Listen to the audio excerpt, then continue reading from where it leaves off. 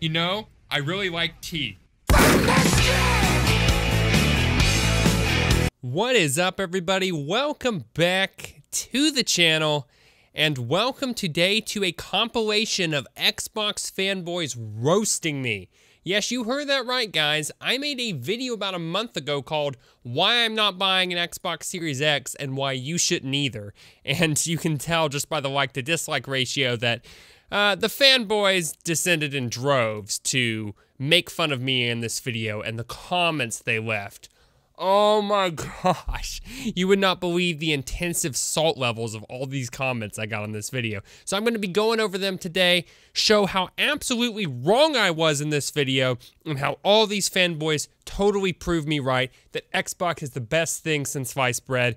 And uh, yeah, I guess after this video, I'll probably sell my PC and pre-order a new Xbox. I don't know. Wait, I can't do that yet. Uh, well, as soon as as soon as the time comes, th then we'll do it. So this first fine fellow says, Look, unless you want to buy me a gaming PC and some of my good friends one too, then I ain't switching to PC. I'd rather just not save up for four years just to get a PC that I'm going to have to spend more money on in the future. I'm broke. Well, buddy, I hate to break it to you, but I got some bad news if you're broke, then you're not going to be able to afford a gaming machine at all, PC or console. I mean, a new console is not cheap. People are saying, and you know, take this with a grain of salt, but people are saying that the next generation Xbox is going to be five to six hundred dollars. Plus, you got to drop sixty dollars to play multiplayer with your friends that you were talking about. And what do you mean by spending more money on in the future? Spend money for what? More games? Again, you're going to do that with any platform ever. But hey, at least on PC, you can play multiplayer for free. You're not locked behind a $60 a year paywall to play with your buds. Oh, no, wait, that's right. It's $100 a year now because Microsoft is no longer selling 12 month subscriptions and only selling three month ones at $25 for three months. If you're willing to drop five to six hundred dollars on a new console and $100 just to play your own games multiplayer, then you are not broke enough to not afford a PC. You can afford a beast of a PC at that price. You know how much my PC was? $800 and it crushes the current gen consoles. And three years later, I'm still going strong, baby. Or maybe some people just can't afford a $3,500 or $4,500 PC, which is what you will need to have to play most new games. Yeah, guys, we're absolute idiots over here dropping enough money to buy a very nice used car on a gaming PC, which is required to run games. Not even run them well, it's just required to play most new games. No, for real. This these type of comments are so idiotic because they're just making up some big scary number that sounds good and saying that's what you need for a PC. I don't know where people come up with this or why they say that, but my goodness, how much hardware would you actually need in order to spend that much money on a PC? You're talking like water cooled dual RTX 3090s or some garbage crap like that. You're talking like two AMD Ryzen processors and four terabytes of solid state drive running in RAID mode. Like you would have to build a government computer at this price point. Oh my gosh. And then use it to play your games, of course. But you know, most new games, which it would be required to run. Let's not forget that part. So this next comment, the original commenter isn't the fanboy, it's the guy who replies underneath it. He says that he's going to buy the Xbox One Series X. And I ask him why he's doing that, because, you know, curious, keeping a conversation going. Then he says the best console, and I said, oh, okay, cool, what makes it the best? And he says it's the best because the specs and the price. So then Bring in the fanboy who says to me, seriously, dude, not everyone likes the same things as you. Get over it. I mean, can you imagine the absolute level of triggered you need to be to walk up to a conversation, which is essentially what you're doing in this comment section, and then getting upset with one of the people because he was asking the other what he liked about the Xbox? Yeah, guys, I just can't stand it that people play on Xbox. I think that they're awful people. Or apparently, at least that's what this guy seems to think, I think. At the end of the day, if you play on Xbox, I don't care. You know, play on whatever you want to. You know, there's really no point in doing so when you could do the exact same thing on a PC, but if that's what your preference is, fine, whatever. You know, make your own purchasing decisions. But why on earth are you getting mad when somebody else says, hey, there's this other platform you could use that has the same games for about the same price point, but you get access to even more titles and better features for it? I feel like it's only the gaming world where this would exist. Because can you imagine somebody buying a car and then somebody else, or talking about buying a car, and then somebody else comes up to you and says, hey, you know, there's this other brand of car you could get for about the same price, but it has more features and more options available to you. And, you know, you don't have to do certain things to maintain it as often and just all these other little perks. I mean, I would think that most people would be kind of grateful to have that information and would look more into it. But when it comes to a gaming system, oh no, how dare you insult the thing that they are thinking about buying? I mean, their last vehicle was this brand, and gosh darn it, they're not changing anything. Well, this fine fellow actually made another comment later down, and he says, Not all console gamers have a PC or decent enough PC to run those games. Some console gamers do not even play PC games, so this kind of makes your point invalid. Yeah, I mean, he's right. I mean, my whole point was that all the Xbox games are on PC, and a PC is a better system because it gives you more options and greater freedom to decide how you want to play your games.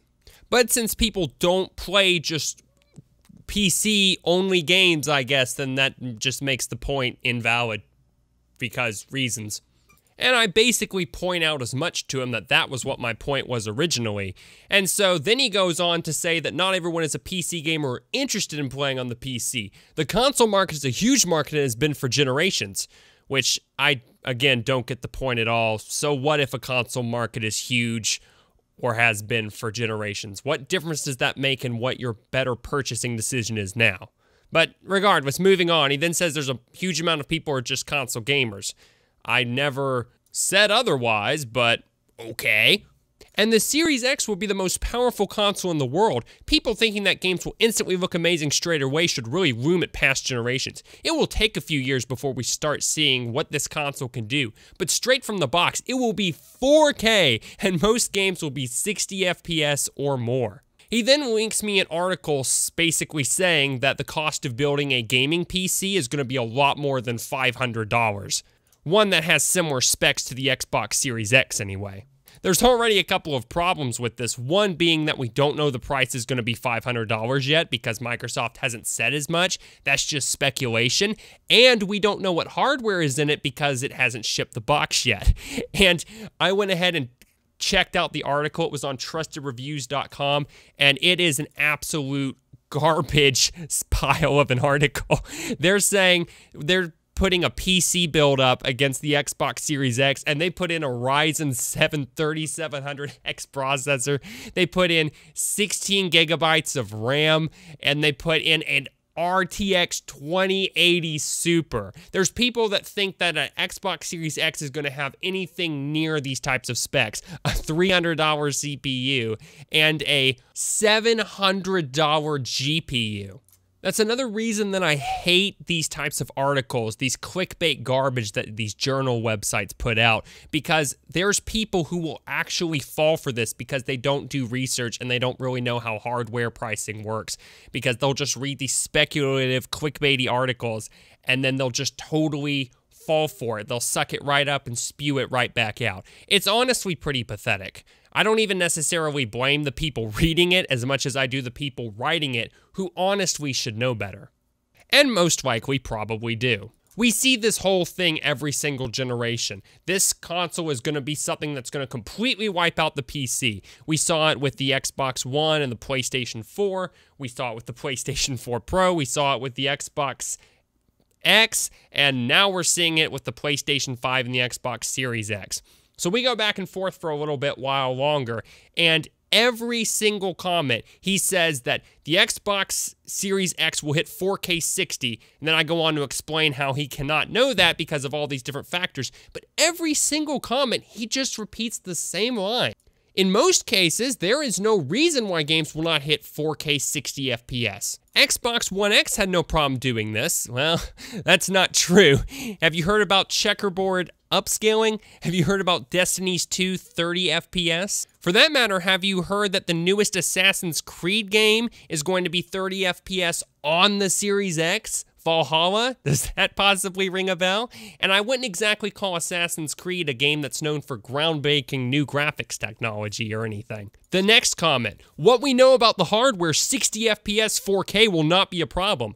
Well, that's the problem is you don't know anything about the hardware. And then the third comment, the Series X will clearly hit 60 plus 4K, even if it's upscaled 4K. Well, there's a pretty stark difference between upscaled 4K and native 4K, but I'm more concerned with the fact that you don't seem to understand that saying the same thing over and over again doesn't just magically make it true.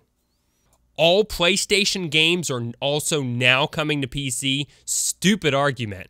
I mean, you know, if you'd actually bothered to watch the video, I never said that. I just said that Sony seemed to be tentatively starting to push their games onto the PC platform with Horizon Zero Dawn and Detroit Become Human and Death Stranding.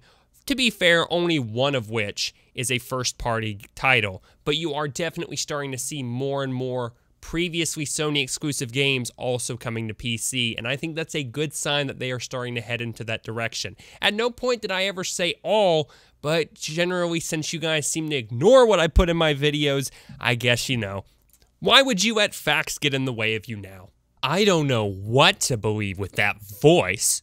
Yeah, because I mean, of course, you know, my voice is totally relevant to what I'm saying in the video. If somebody's voice doesn't sound, you know, like a normal voice, the kind of a voice you expect.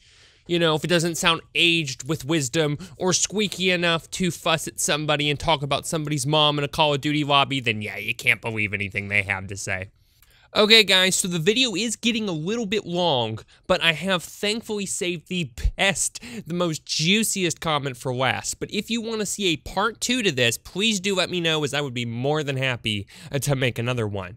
But for our final comment, we have somebody saying, so you're not buying a 200 to 500 euro Xbox Series X because instead you want a $1,000 PC that is a little stronger than the Xbox and also has has a chance of catching fire if you don't build it right. We, this guy thinks that if you don't put your PC together correctly, it's going to catch fire. You're going to have a ticking firebomb that you're playing your games on. Oh my gosh, the amount of ignorance in this comment is so so incredible also he says 200 to 500 euro xbox series x uh buddy 200 to 500 is kind of a really wide range. I don't think I've ever seen a console that was just $200 at launch that wasn't just, you know, a little emulation box, like an actual official current gen console yeah, they've never been that cheap as far as I'm aware, and that's pretty wide. You're talking about a 300 euro margin here. But then, but no. But the funny thing is, the funny thing, ignoring that, ignoring that you think a $1,000 PC is a little bit stronger, you think it's going to catch fire.